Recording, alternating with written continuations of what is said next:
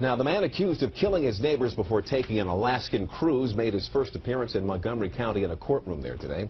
Richard and Julianne Villardo were stabbed 50 times. Montgomery County reporter Kevin Lewis was inside that courthouse when Scott Tomaszewski appeared.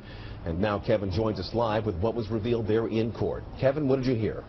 Hi there, Leon. Tomaszewski addressed the court in a polite and surprisingly somewhat upbeat manner. Prosecutors say the 31-year-old killed his neighbors, the Villardo couple, around 1 a.m. on Mother's Day morning. He then reportedly walked home where he ditched the murder weapon, washed his clothes, and then left for his family's Alaskan cruise only an hour later.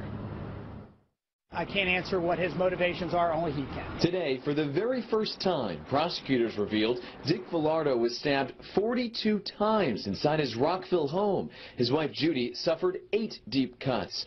The couple's accused killer, Scott Tomaszewski, reportedly helped detectives locate the murder weapon a sharp knife. I just wanted to make sure that, uh, that the court understood the strength of our case and the brutality of the killing. Prosecutors say on the night of the killings, Tomaszewski posted this note to his Facebook page, typing, My deepest sympathies go out to our neighbors who were found deceased today. I pray that their children are somehow able to make it through this horrible tragedy.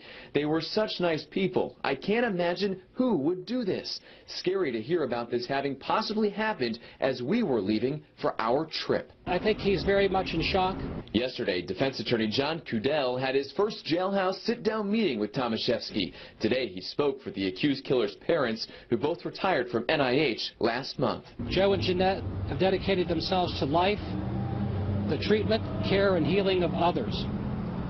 The very idea of death in this manner is incomprehensible to them.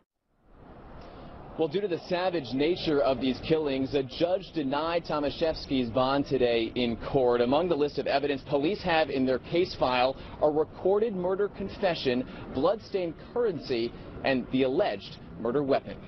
Well, in Rockville, I'm Kevin Lewis, ABC 7 News.